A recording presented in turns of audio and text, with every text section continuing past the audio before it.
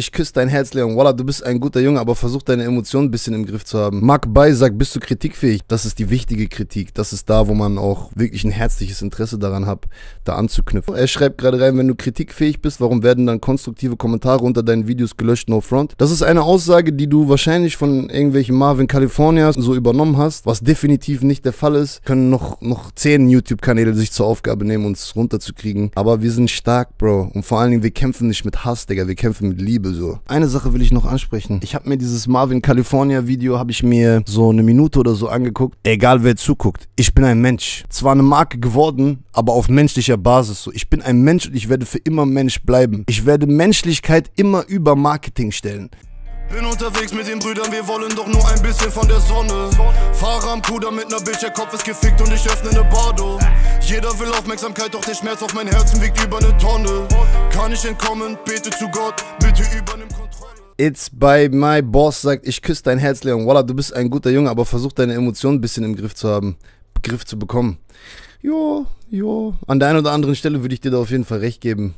Aber ich bin auch, also dicker, jeder Mensch ist anders, weißt du, ich meine, bin halt ein emotionaler Mensch so und äh, das macht einen Mensch auch menschlich, weißt du? Ich finde so, so ohne emotionale Roboter-Vibes auch nicht geil, weißt du? Das macht ja auch ein bisschen meine Persönlichkeit aus. Ich gebe dir recht, dass man an der einen oder anderen Stelle so, gerade wenn man in der Öffentlichkeit stattfindet, Emotionen mal ein bisschen rausnehmen sollte, aber ich finde es auch nicht verwerflich, wenn man auch mal Emotionen sprechen lässt, weil das macht einen menschlich und jeder, der nicht in der Öffentlichkeit stattfindet, weiß auch, dass Mensch Mensch ist halt so, wie er ist, weißt du?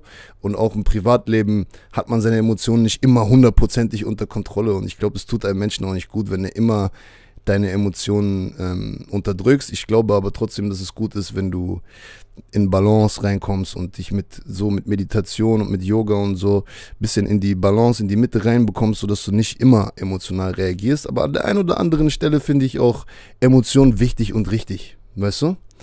Also ich habe schon mit Emotionen auch sehr viel erreicht und sehr viel bewegt auch im Menschen teilweise so.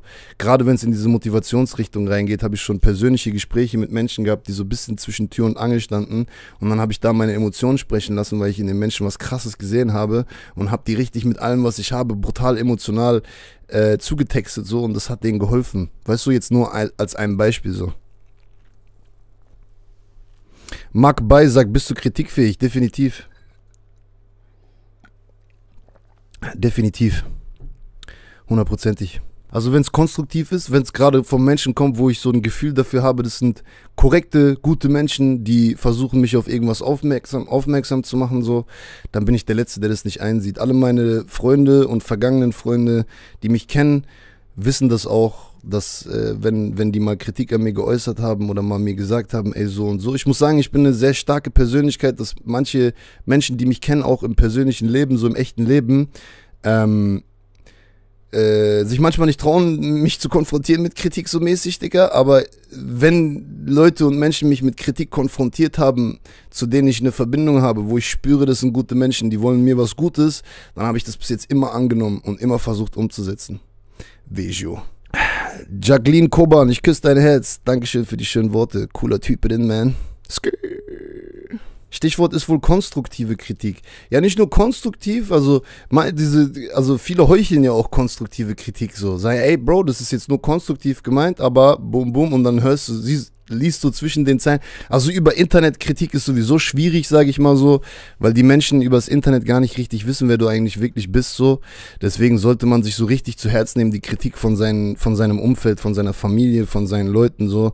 Das ist die wichtige Kritik. Das ist da, wo man auch, wo ich auch wirklich ein herzliches Interesse daran habe, da anzuknüpfen. Weißt du, wenn jetzt irgendwelche Leute Videos machen und sich dann so hinstellen und so tun, als ob das konstruktive Kritik ist, aber eigentlich dich nur nicht mögen, dann ist es keine Kritik, die bei mir richtig ankommt, weißt du so?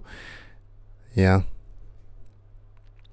Äh, der Aldinho, ähm, ich glaube, du bist ein, bist ein, bist ein ähm, Kritiker von mir so. Er schreibt gerade rein, wenn du kritikfähig bist, warum werden dann konstruktive Kommentare unter deinen Videos gelöscht, no front? Das ist eine Aussage, die du wahrscheinlich von irgendwelchen Marvin Californias oder irgendwelchen Leuten so übernommen hast, was definitiv nicht der Fall ist. So, da lügt ihr euch selber an, wenn ihr das sagt, weil ich bin der Letzte, der irgendwelche Kommentare löscht. Schon immer ich habe mir noch nie Zeit dafür genommen, meine Kommentare durchzustöbern und zu gucken, was da negativ ist und das dann zu löschen. Also, w- wenn du dir meine Kommentare anguckst, Bro, dann siehst du das auch. Weißt du, wie ich meine so? Das ist so, das ist einfach so an den Haaren herbeigezogen, um mich noch schlechter darzustellen, um mich noch äh, äh, äh, unglaubwürdiger zu machen, mich so hinzustellen, als ob ich mit Kritik nicht klarkomme. Die Leute sagen dann, der löscht Kommentare. Das ist so ein, so ein Ding geworden, das sagt man dann einfach mal so im Internet. So ein Marvin hat das auch, der sagt es dann einfach, ja, der löscht Kritik, der löscht Kommentare. Drei Leute haben mir auf Insta geschrieben, der hat meinen Kommentar gelöscht. Bro, erstens weißt du nicht, ob diese Leute dich anlügen, damit du einfach wieder Fake News verbreitest. Und zweitens habe ich noch nie Kommentare gelöscht. Da kannst du mir in dir, kannst du so, da, da, ich leg meinen Schwanz dafür ins Feuer. so, Mark Beise Digga, Leon hat schon Kriege durch, was für Kommentare.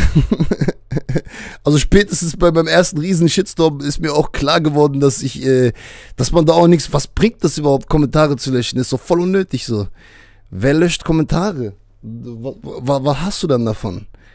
Was hast du dann davon? Ich habe mal gesehen, Roos hat, glaube ich, mal in irgendeinem Real Talk hat er mal erzählt, dass äh, die bei hiphop.de das teilweise mal gemacht haben, weil die Kommentare irgendwie auch dann die, die grundsätzliche Meinung über das Video und die Dislike-Dislike-Verhältnisse beeinflussen. Aber mir ist das scheißegal, Bro. Seitdem ich einen riesen Shitstorm hatte, ist mir Kommentare, Likes, Dislikes und so, geht mir viel weniger so in die Vibes rein als früher. So, und selbst früher habe ich nie Kommentare gelöscht. Tufan sagt, das ist die beste Community, die ich je gesehen habe. Wir sind real und ehrlich. Bruder, ich küsse dein Herz. Bester Mann, Bro. Faust auf die Realness, mein Bruder. So sieht das aus, Digi. Wir lassen uns nicht unterkriegen, Alter, von, von so vielen, so, egal, können noch, noch zehn YouTube-Kanäle sich zur Aufgabe nehmen, uns runterzukriegen. Aber wir sind stark, Bro. Und vor allen Dingen, wir kämpfen nicht mit Hass, Digga. Wir kämpfen mit Liebe, so. Love Fighters, Love Lock Fighter, Vesho. Love Fighters ist eigentlich ein geiler Name für unsere Community, Bruder. Marvin sagt den Leuten, dass sie dich haten, haten sollen. Was ein armer Typ. Ja, Bro, was soll ich dir sagen? Ähm, das zeigt ja schon, was ein Mensch der ist, so. Weißt du, wie ich meine, so? So. Keine Ahnung, jeder soll da für sich entscheiden. Bruder, alle Leute, die, die damit drauf einspringen und das glauben und so und da mitmachen und so und mich auch dann auch mit negativen Kommentaren und sich in WhatsApp-Gruppen zusammentun und meine Videos like, äh, disliken und ekelhafte Kommentare schreiben und so. Bro, am Ende des Tages müsst ihr euch in den Spiegel gucken. So, ich, ich hab damit nichts zu tun, weißt du? Ich habe das nie gemacht in meinem Leben zum Glück und ich werde es in Zukunft auch nicht machen, irgendwelche Leute irgendwo hinhetzen oder irgendwie für negative Energie und negative Vibes sorgen. So, what goes around comes around, Bro. Es kommt auf deine Moral an, Empathie, ja, ja, so bei den Leuten, die das noch haben, so, die ziehe ich auch an meine Community an und deswegen bin ich auch so stolz auf meine Community und finde es so geil, dass es das halt auch gibt, weißt du, dass es positive Communities gibt mit positiven Vibes, Digga, die gar nicht sich auf so einem Niveau, ähm, sich auf so einem Niveau ablassen, weißt du, ich meine so, bleib so wie du bist, das, das genau regt dir am meisten auf, ja.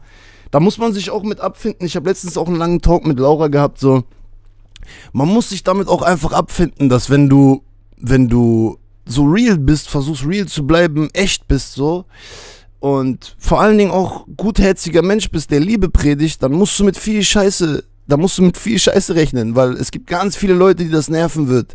Es gibt ganz viele Leute, die dich deswegen hassen werden, die dann versuchen werden, dich deswegen zu boykottieren, dich deswegen klein zu machen, deswegen auf dir rumzuhacken, weil du einfach positiv bist. So, das hat schon damals angefangen, als ich in meinen Interviews auch immer so einfach so Herzensmensch, der so gar nicht viel, noch gar nicht so, was soll ich dir sagen, immer nachgedacht hat oder so, sondern einfach sich hingesetzt hat und mit Leuten geredet hat, wo er Lust drauf hatte und dann diese Freude und Positivität und Liebe auch mitgegeben hat und dann irgendwann Leute sich darauf eingeschossen haben und gesagt haben, das ist lächerlich und das ist voll, der ist voll, der, man kann gar nicht so positiv sein, das ist voll aufgesetzt, das ist voll dies und so. Bruder, wenn du einfach mal die Geschichte zurückguckst, es gibt äh, leider ganz viele Menschen, die Liebe gepredigt haben und dafür gehasst wurden. So, und damit, damit muss man sich auch leider dann irgendwie auch mal abfinden. So, weißt du, ich versuche immer so zu denken und so, ich frage mich manchmal so, warum sind Menschen so, wie, wie kann das sein? Und dann will ich mich rechtfertigen und so, aber das tut auch nicht gut, weißt du? Ich akzeptiere das einfach, dass es Menschen gibt, die mich hassen, weil ich versuche gut zu sein. So. Das ist zwar traurig, aber es ist so. Eine Sache will ich noch ansprechen. Ich habe mir dieses Marvin California Video habe ich mir so eine Minute oder so angeguckt. Länger ging nicht. Und da wurde relativ in den ersten Minuten das Thema angesprochen, so Marketing, Person des öffentlichen Lebens. Man muss sich als Marke sehen. Der Typ ist dumm, weil er sich nicht als Marke sieht und versucht, so als Marke zu agieren. Und dazu will ich einfach nur sagen, Bro oder Schwester, egal wer zuguckt, ich bin ein Mensch. So, ich bin ein Mensch. Ich bin zwar eine Marke geworden, aber auf menschlicher Basis. So, ich bin ein Mensch und ich werde für immer Mensch bleiben. Ich werde Menschlichkeit immer über Marketing stellen. Ich werde Menschlichkeit immer als erste Stelle haben. So, alles andere kommt danach. Ich agiere als Mensch. Ich rede hier als Mensch. Ich rede nicht als Marke. Okay, ist schlechtes Marketing. Tamam, das ist deine Meinung. Akzeptiere ich, respektiere ich so, aber ich bin anders. Ich bin kein Produkt. Ich bin ein Mensch. Ich bin kein Produkt. Ich verkaufe mich nicht als Produkt. Ich versuche nicht immer auf der sicheren Seite zu sein. Ich versuche nicht immer gut dazustehen. Ich bin einfach wie ich bin. So. Und darauf bin ich stolz, dass ich immer versucht habe, so zu bleiben. Und alle, die mich jahrelang verfolgen, die haben das gesehen. Ich bin immer der Mensch geblieben, der ich bin. Und ich werde auch für immer der Mensch bleiben. Und ich werde in erster Linie immer Mensch sein. So seid gerne Produkte, macht gerne euer Marketing, seid so und seid so. Weißt du, ich meine, ist alles eure Entscheidung. Aber diesen Kanal, dieser Typ, der hier gerade sitzt, der ist einfach ein Mensch. Und der wird es auch für immer bleiben. Und ja, das hebt mich ab von der Masse auf jeden Fall. Kann auch ein Vorteil sein, aber es ist auch ein krasser Nachteil. Aber es ist mir scheißegal, weil das Menschsein ist mir viel, viel wichtiger. Und das, was ich ehrlich bin, nach außen zu tragen, ist mir viel, viel wichtiger.